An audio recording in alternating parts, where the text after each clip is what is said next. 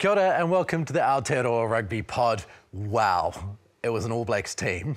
A few surprises and plenty to get into this week. We're going to have a good look at the bolters like Dallas McLeod, what he does well statistically. Why is he in this team? Some of the guys who missed out, Hoskins Sotutu, not even in the top 60 players in the country now, which is quite amazing, and everybody else as well. So stick with us over the next hour. Plenty to discuss. Of course, there's a Super Rugby final to come as well. Don't have to forget about that. And uh, we've got a man back to help us chat through that. But before we get to him, James Parsons, how are you? Oh, uh, well, there's a few few glaring um, surprises for me. Obviously, a couple of friends missing the cut, but um, outside of that, you know, probably Dallas McLeod's the biggest biggest surprise. But the other positions, you knew what was going to be a tight tough, tussle for those sorts of players in and out. Yeah, yeah, plenty to discuss there. And joining us after a beautiful holiday all around Europe and a rugby game in the middle, out of Dubai, Bryn Hall. Thank you for joining us once again. Crusaders beat the Blues. You had to be back, didn't you? Uh, boys, it's good to be back. No, I thought um, it'd be a great time just to jump on for me old mate. He's obviously hurting a little bit, but um, yeah, we'll dive into that. to be honest, probably the best half of foot I've ever seen the Crusaders play. I think clinically and um, ruthlessly, they were um, they were on swung in that first half. But yeah, Dallas McLeod, wow, what a bolter! I can't um, and obviously play with him, play with, with him a lot. I think the last bolt you have to go back to maybe is Isaah Tuiava that was that was announced just that nobody thought was coming. So really stoked for him and his growth. But um, you look forward to going a little bit deeper with that All Black squad as well. Let's start with Dallas McLeod, really. And Bryn, I'd love to get you more of your input. You know, Ian Foster likes his speed, he likes his attitude, he likes his kick chase, he likes his versatility. Have you seen all of those things in him? What do you like about this guy? He's, he's had a massive improvement compared to last year. I think, you know, he was struggling to, I guess, have a contract with the Crusaders, even with Mitre 10 Cup as well, being held off to not to not be able to be selected within that team. But then you know you look at 12 months, and I guess the work that he's done has been great. And I think you know he's, he's a great ball carrier, been a great defender on the wing as well. I think if you look in um, in the semi-finals, um, decision making on the wing and being able to make tackles um, on the edge is going to be really important. And um, he's did a, did a great job against Caleb Clarke, who you know you'd have to say arguably is one of the greater um, ball carriers in the world. So um, and he works hard off the ball. Um, so he's done a lot of good things well. But I think the improvements that we've seen in the 12 months, um, I think if he would have told you at the start of the year that he would have been in the All Black squad, um, he would have laughed at me. I think it is a, a game like he had against the Blues at Eden Park that's probably got him the the nod for that midfield spot because he's played a lot on the wing this season. Um, so you know he does have that versatility, but uh, obviously Ennor as well. Uh, McLeod and Ennor in the NPC for Canterbury have formed quite a combination. They're, they're really destructive. They're great at bringing their blindside wingers into games.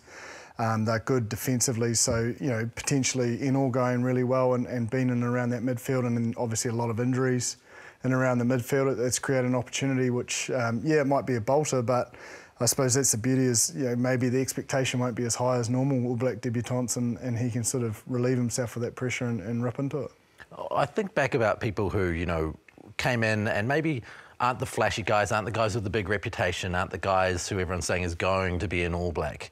And then they become very good All Blacks. People like Conrad Smith. I mean, that's a big comparison to make, but here's a guy who was a bit of an unfashionable looking player, but was very effective at test level. Could we see a similar kind of approach from a Dallas McLeod? Potentially, but I do think that uh, midfield partnership is key. You, you actually do need, um, you know, it was Ma'a and Conrad. Do you mm. know what I mean? So it's, he can't sort of rely on himself as an individual. Um, but I suppose the one thing I'm interested from Bryn's point of view is, you know, there has been a lot of heat on Roger in and around the ability to kick. Mm. We know the All Blacks, you know, through Havili and, and Jordie Barrett, you know, want to use their 12 to kick. Is that part of his game? Have you seen that at training, Bryn?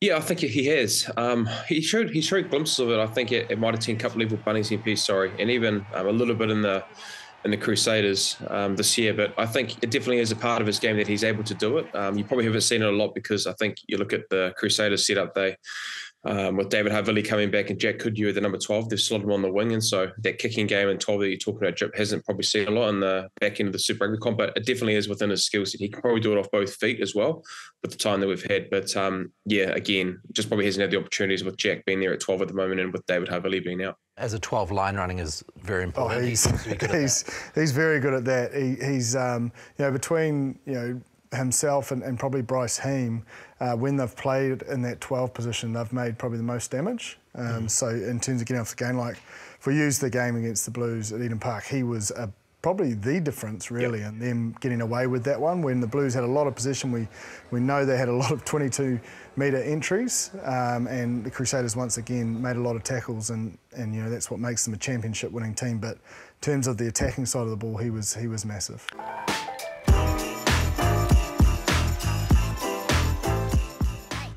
Shaun Stevenson, obviously the form player of Super Rugby. Look, it's tough. I think, um, yeah, I think if you're looking on the attacking side of the game, um, you know, scoring scores tries, has a great kicking game, and um, has been able to really, um, I guess, influence games with his attacking prowess. But I think, you know, probably the one work on it that, well, that Fozzie's talked about is his defense. Now, I think it's been an area that he's really, really improved on. You'll probably touch on the stats around what that might look like, but you know, I think it's an improvement in his game that he's um, that he's really had, and so um, it's tough. It'd be a really tough conversation there with Shooter because um, you know the improvements that he's made. You know they must just see him as, as a fullback, as not as a winger option, because um, that's probably the only one area that you can think possibly that he might not get selected. Um, and even then, it's probably it's thinking like he might be hard done by because I mean he's done pretty well in, in, that area. I think it's been a massive improvement in his game, and you probably lead it to jip around the stats around what that's needed. But yeah, a real tough one for Shooter. It's good that he is going his injury cover with obviously Mark Telea being being there, but a bit of a kick in the guts, I think. Um, still being able to head over there, not based on your um, your selection merits, but yeah, I think it's a tough one for Shooter, but he'll go back to the drawing board and hopefully his defensive um, game can get a little bit better that Fozzie's touched on. How he goes into the environment will be critical though. You know, like he's got that's quite. You know, you don't make the squad, but then you've got an opportunity to impress the coaches, and you know, so many players have made, uh, I suppose, their Test match careers in those weeks before they actually get a game is what they do and, and I suppose their attitude to it. So, you know, like Shaun's just got better and better every year he's had and, and you know he's got a great opportunity to go in there and change it and I don't think they're big shifts they, they obviously are in, in their head around international rugby but I don't, I don't think we saw too many um, frailties in that game that he played for the Māoris and, and then obviously All Blacks 15 on the India tour and um, you know so and if you look at him from NPC, like he was really physical in his collisions out the back and, and the work he was doing in the backfield to make those tackles. I think it's been the same this season. Um, and, you know, and a lot of the time he's on the edge because you know Damien does drop back into that backfield. But I, I went through and looked at the the stats, and he's tackling at 80% for the season, but he's played more minutes than most that you know, I could compare him against. So you got Tom Wright who was the closest in terms of minutes. Um, he was 71%, and Tom Rice had a pretty good year. And you wouldn't say he's, he's a passive defender. Uh, Will Jordan's a point of difference. He has only played just over 300 minutes, though, um, so less opportunity to miss tackles or make them. Um, he's tackling at 89%, so that is quite strong mm. especially for, for, for the position he is in that backfield. It is quite hard to make those tackles. Zarn Sullivan's at 79%, Josh Moorby's at 74%, and I just thought Max Jorgensen, you know, a lot of talk about him and his season and, and how he played, he's at 78%. So um, it's not drastic, is really what I'm trying to point out. Yeah, he'd want to be a little bit higher. Um, but I think some of his defensive work, especially covering the backfield, um, you know, will be key. Maybe they've looked at the last few weeks, you know, the Reds got a number of 50-22, so they did manipulate that that pendulum quite well. Um, so maybe that was part of it. I'm not too sure, but I do think, you know, stats is one thing. I can read out every stat on every player and why they should been, shouldn't be selected. But I have noted here that the performance of the last two weeks, I think, has counted for a hell of a lot. Mm. I, I, really do, I, and I think that's shown in the selection because mainly the guys that have got the nod have performed.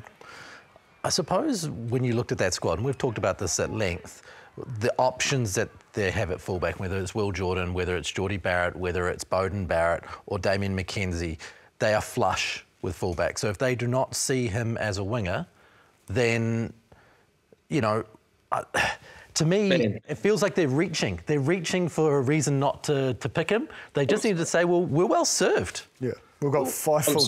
Sorry we're all right, right? But he's a great winger. Like when he's played at that All Blacks 15 level or Māori ABs, he's been a winger. Like he has, he is a proven winger in my opinion. Mm. And we've seen at international level. If you're Bryn to talk about the fact, the physical nature, well, when he's played for New Zealand Māori, at what is really a test level, he hasn't had a problem, has he? Man, there's no more real, I guess, opportunities other than being an All Black to play at the international level to try and prove yourself because he's done it at Māori level. He did it at All Black 15 level. Um, but I guess, I guess, you know, the selectors have told him this is, this is an area that we need you to work on. And, you know, knowing Shooter, um, he'll want to work on his game. And if he can get that right or show the improvements that I guess he's been given some messages around what it's going to look like, if he can do that, then look, um, it's only going to be better for him moving forward. But yeah, he's, he's proven it at an international level. So, yeah, it's a tough one.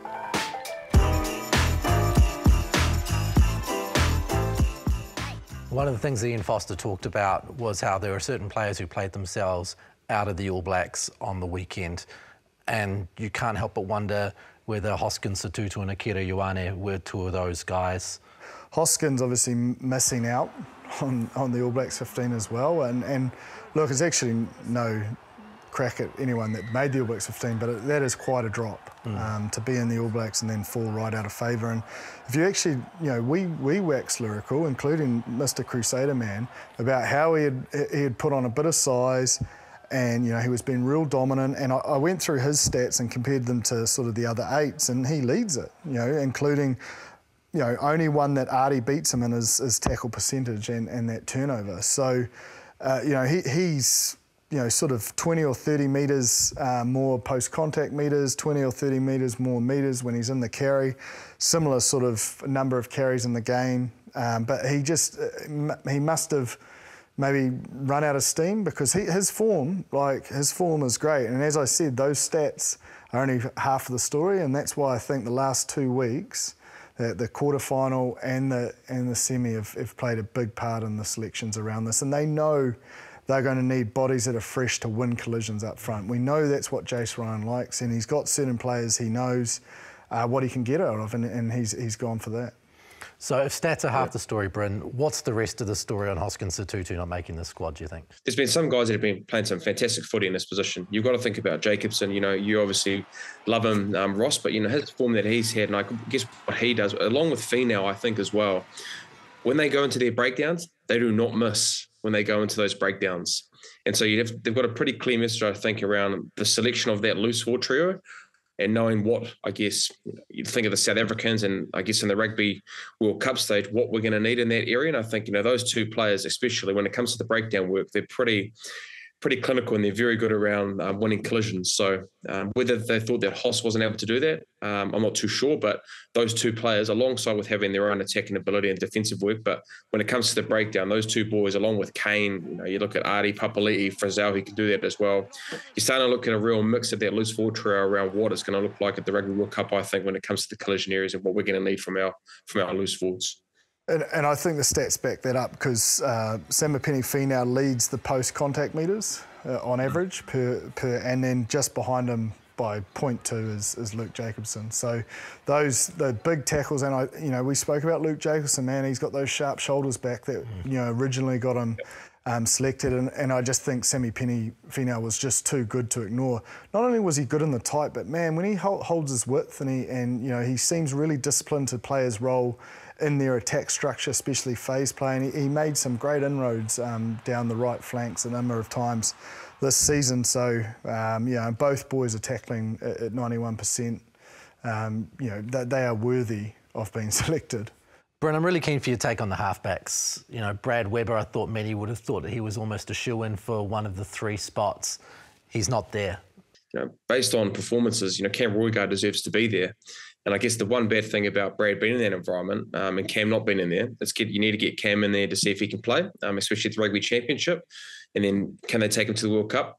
But they also know that Brad Weber, if they need him, he'll be ready to go for that World Cup selection. So it's all not gone for Brad. I think, um, you know, Cam Roigard, they're going to get him in there, give him an opportunity, and he deserves his performance with the, with the Hurricanes. He played very, very well, and has based on his on his game, um, he deserves to be there. But I think for Brad, um, like he's shown a lot in his career, the resilience that he's shown. He hasn't been selected for squads, but then he finds his way through injury or a lack of form from certain players. He's back in that environment. So, you know, New Zealand rugby are very lucky in that sense. I think Fozzie knows that, um, knowing what they can get with Brad, um, giving Cam an opportunity. If it doesn't work out, you can always go back to the tried and true with Brad when it comes to World Cup time, especially when it comes to experience. But um, not surprised with Cam's performances, and I think Finlay Christie has probably been the best player in that blue side for the year, um, and is coming back next year as well. He's signed with New Zealand Rugby, and I'm not too sure if that goes into the thinking with Brad Weber leaving next year.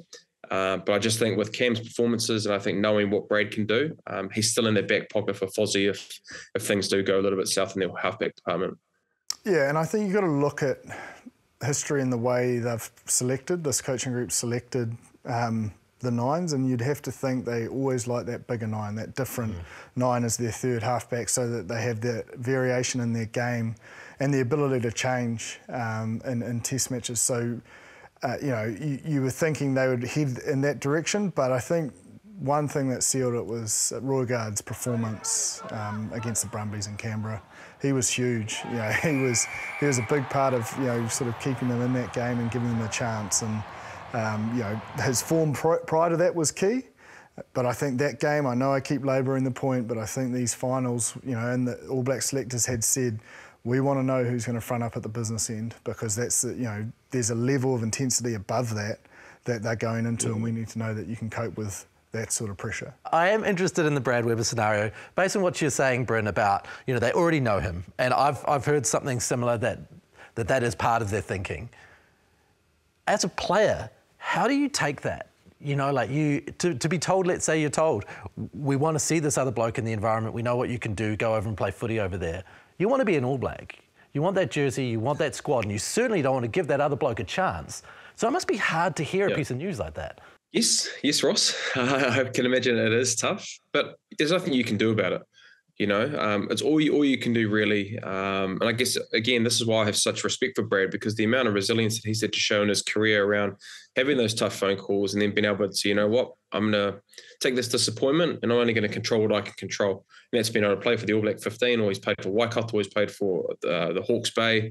He's just gone back and done what he's needed to do and controlling what he can control. So yeah, look, I think you know, based on his resume and how he's played, um, it's always tough to have that conversation. But you know, like I said, uh, when it comes to Brad Weber, do not um, do not sleep on him because he'll go back to wherever he plays, All Black 15, Bunnings NPC, and he'll play some good footy. He'll be one of the best players on the field, and it comes back to his character.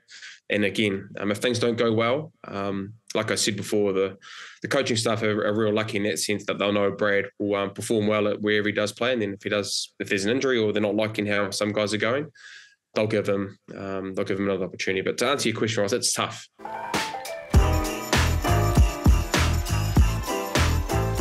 Hey, who wins? I think the Chiefs. Yeah, uh, it would be it would be. Um, yeah, I just think it'll be a big ask, and, and, you know these All Black boys with World Cup, they, they do need a front in this game. Like I, I can't emphasise enough how I think the last two weeks and this final will, will be in the selector's mind leading into these big tests? Bryn? I'll go for the Crusaders. I think if they can get Sam Whitelock back, I think I'm not too sure what his selection is going to be. I think he's going to be a, a massive um, cog in that wheel if they can get him back. But at the same time, if they don't, Quinten Strange's been doing unbelievable work and has obviously been in the All Black 15 and been able to great to see, great to see him not getting injured. But um, yeah, I just can't imagine. I can't imagine them losing, I think, with Razor going. Where is it going to be won? Like, what's what, what's telling you that confidently that because you seem pretty adamant that that's going to happen, or is it just you know you're just being as bad as I am when the Blues uh, are playing someone? I think you're trying. I could be on the Chiefs board here. But um, Mate, no, you're not playing for think, them. The Chiefs aren't listening to you. I think it's very. I think it's very similar to last year. I look. I look at the Blues last year, right? So they were the form team going into into last year. I think that their way that they played in the quarterfinals and the semifinals football was a little bit similar to the Chiefs. I think the Chiefs have won. They've got the job done, which is great. But you look at the, the way that the Crusaders are built. Obviously, they played very well against the draw, but then the consistency that they played against the Blues, they are peaking at a final, coming to a final. Whereas I don't think the Chiefs are peaking. They haven't peaked to where I think the where the Crusaders are. So, with that and knowing being a part of that group, I think I can say that I think the Crusaders will win. But I, like Fantastic I say, answer, Brent. Fantastic. You sold me. You sold me.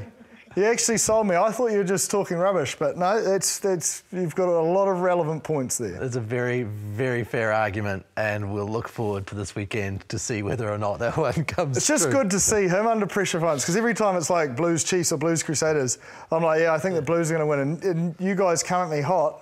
It's just good to see you in the hot seat. Yeah, it's good. Mate, it was like he was clearing you out at the ruck, mate. You, you had the ball on the side. You know, there's an untouchable halfback with his hands Yeah. on the ball, and Mate, Chip it was was just coming because through. he'd spoken all, all show about how good the Chiefs were. And Yeah. then he was just like, oh, yeah, no, there's no doubt the Crusaders are going to win. I'm like, what? Hold on a minute.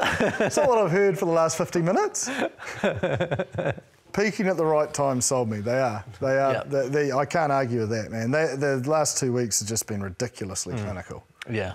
They built nicely, especially when you consider the fact that the Blues, what, they'd only lost one game in nine weeks or something. They'd only they were the best team in the second half. They'd only averaged seven points in the second half the whole season. yeah. The Blues defensively. Yeah. Their biggest. We said it last week. The Blues needed to stop the Crusaders' hot start, otherwise it was going to be a tough. They didn't do that. Mm. But the way the Crusaders continued on in the second forty whew, Mm.